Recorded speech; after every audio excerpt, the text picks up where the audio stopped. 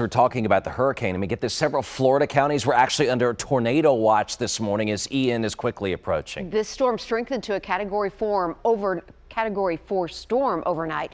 So we want to show you this live look at conditions in Cape Coral right now. Rain coming down near Fort Myers. 2.5 million residents have been asked to evacuate if they still can. The National Hurricane Center predicts up to 12 feet of ocean water could push ashore and it could possibly wash communities away. Just think how tall 12 feet yes. of water on yeah. those streets. Mm. Meanwhile, down in Cuba, no power across the entire island. Hurricane Ian blamed for at least two deaths there since making landfall there late yesterday. Officials hope to begin restoring power today for its 11 million residents.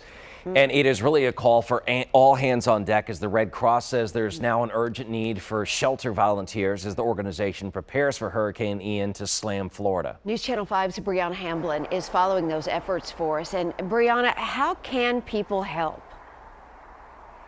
Well, Ben and Amy, the need is so great for volunteers that the Red Cross is offering fast tracked shelter training that people can get today. It's only four hours and it's to prepare volunteers to be able to help those impacted by Hurricane Ian and other natural disasters as this storm season continues. The Nashville area chapter will have a training session again starting at 9 a.m. today and another one Saturday, October 1st at 2 p.m.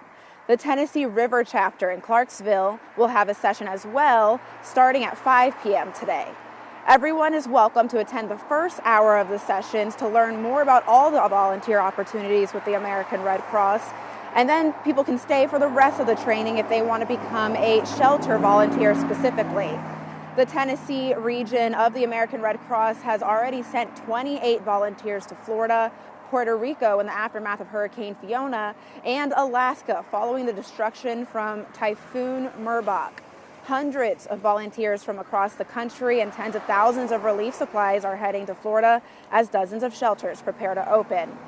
And if you can't volunteer, you can still help by donating money to the American Red Cross and other organizations that are out there to help, such as the Salvation Army, Project Hope, and World Central Kitchen.